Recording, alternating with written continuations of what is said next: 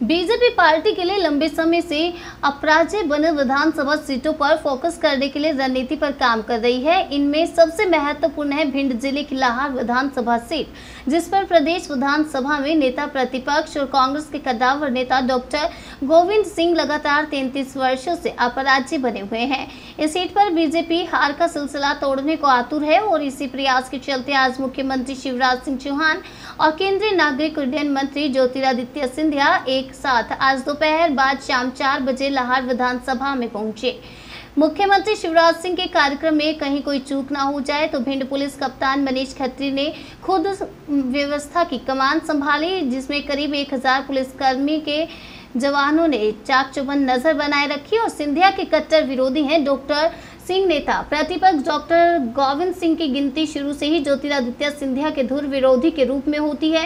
कांग्रेस में रहते हुए भी मौका मिलते ही एक दूसरे पर निशाना साधते थे। हालाँकि हर बार विधानसभा चुनाव के पहले गोविंद सिंह द्वारा आयोजित सभा में सिंधिया भी जाते रहे। आज पहला मौका है जब लाहौर में सिंधिया डॉक्टर गोविंद सिंह के खिलाफ मैदान में उतरे। भिंड ज़िले की लाहौर सीट जितना बीजेपी के लिए बहुत बड़ी चुनौती बनी हुई है। 1990 में डॉक्टर गोविंद सिंह इस सीट से पहली बार विधायक निर्वाचित हुए थे और तब से वे लगातार जीतते आ रहे हैं। यहाँ तीन तीन साल से बीजेपी जीत का स्वाद चखने को तरस रही है। 2003 में उमा भारती ने भी यहीं से अपना चुनावी अभियान शुरू किया था। हालाँकि तब एमपी से कांग्रेस की सरकार का तो पतन हो गया। उमा भारती सीएम भी बन गई, लेकिन लाहौर में कांग्रेस के डॉक्टर गोविंद सिंह अपराजी ही रहे।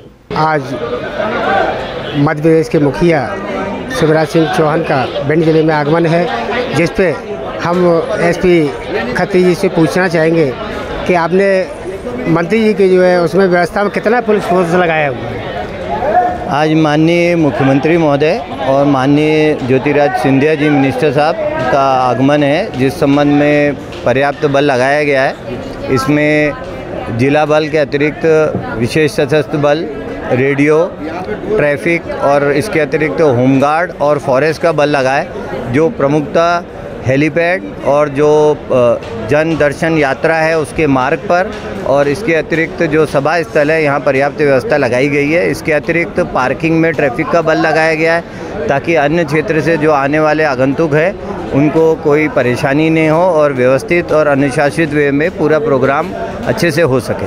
सर भिंड ज़िले की व्यवस्था पुलिस की है कि अन्य जिलों से भी पुलिस फोर्स मंगाया गया? अन्य जिलों से भी बल आया है। पुलिस मुख्यालय से अतिरिक्त बल इस व्यवस्था हेतु प्रदान किया गया है और इसके अतिरिक्त महिला बल भी लगाया गया है और पर्याप्त व्यवस्था लगाई गई है। सर कितने पुलिस के जवान होंगे? थोड़ा गिनती करके बताइए। काफ़ी अधिक संख्या में, करीब लगभग हज़ार से ऊपर जवान लगे हैं पूरी जगह मिलाएँ तो। और इस, ये सभी विभागों के संयुक्त प्रयास है। इसमें कोटवारों का भी एक योगदान है। सौ करीब कोटवार भी लगे हैं, जो हमारे पुलिसकर्मियों का व्यवस्था में सहयोग कर रहे हैं। बहुत बहुत धन्यवाद, मैं एसपी साहब से मिला।